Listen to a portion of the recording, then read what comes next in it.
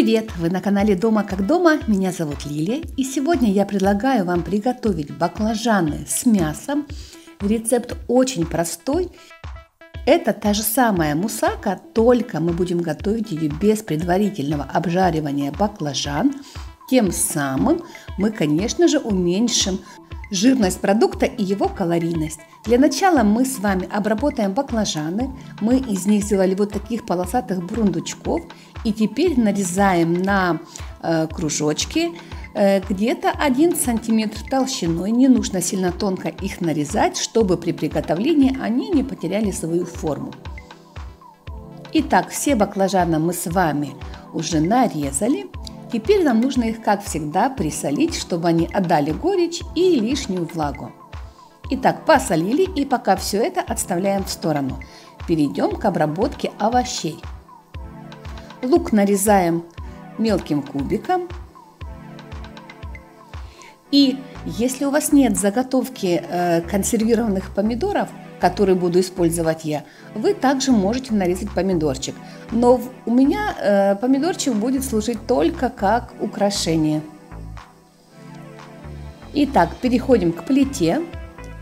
И в сковородку вливаем небольшое количество растительного масла, у меня оливковое, но вы также можете использовать э, обыкновенное подсолнечное. Всыпаем туда лук и немного его обжариваем. К обжаренному луку добавляем фарш и теперь нам нужно хорошо его размять вилкой и прожарить.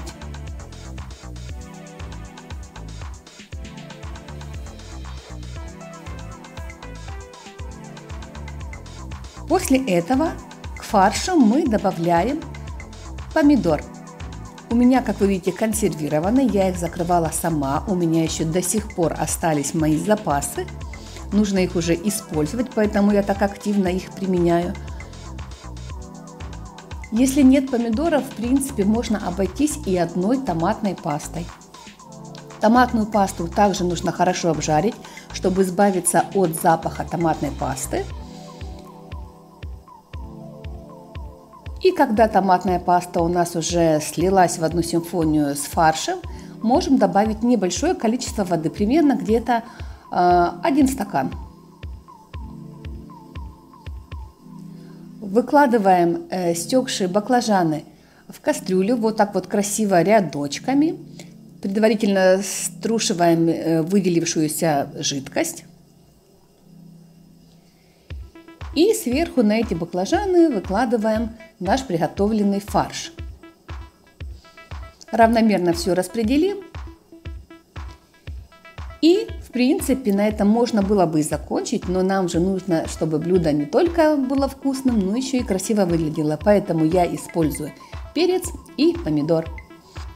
Осталось только поставить блюдо на плиту и довести до готовности. Готовиться оно у нас будет примерно где-то полчаса. А, если есть желание, можно в конце приготовления открыть крышку и выпарить лишнюю жидкость. Вот так выглядит наша готовая мусака. Замечу опять же, что это диетическое блюдо. Подойдет также для людей, которые соблюдают ПП-режим. Украшаем зеленью и можно добавить йогурт по желанию. Спасибо за просмотр, до новых встреч и пока!